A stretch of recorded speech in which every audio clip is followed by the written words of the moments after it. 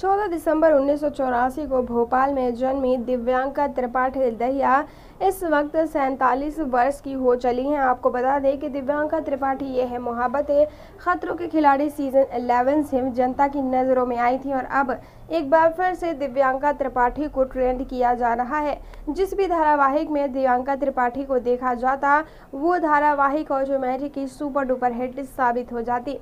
बता दें कि दिव्यांका त्रिपाठी टीवी इंडस्ट्री की सबसे महँगी अभिनेत्री थी और यही अभिनेत्री महज इतनी कम उम्र में ही इस दुनिया को अलविदा कह गई हैं। बता दें कि मुंबई के ब्रिज कैंडी हॉस्पिटल में आज सुबह आठ बजे दिव्यांका त्रिपाठी अपनी आखिरी साँसें ले चुकी हैं। कहा जा रहा है कि विवेक दहिया से शादी करने के बाद लगातार वो डिप्रेशन का शिकार हो चली थी।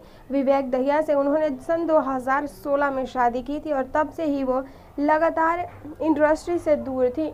कहा जा रहा है कि दिव्यांका त्रिपाठी का निधन हो चुका है। उन्हें सांस लेने में दिक्कत हो रही थी, जिसकी वजह से उन्हें मुंबई के ब्रिज कैंडी हॉस्पिटल में एडमिट करवाया गया। हालाँकि उनके निधन के बारे में अभी तक उनके परिवार या फिर किसी बड़े सेलिब्रिटी ने कोई पुष्टि नहीं की है।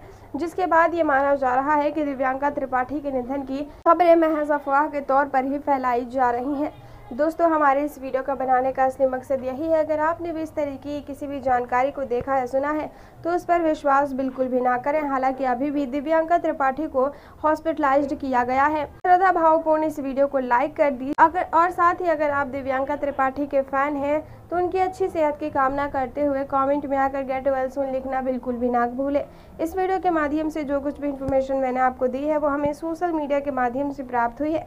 इस बात में कितनी सच्चाई है, इसका पुष्टिकरण हमारा चैनल नहीं करता है और ना ही किसी भी तरीके की अफवाहों को फैलाना हमारे चैनल का उद्देश्य है। आपका कीमती समय देने के लिए हमें धन्यवाद।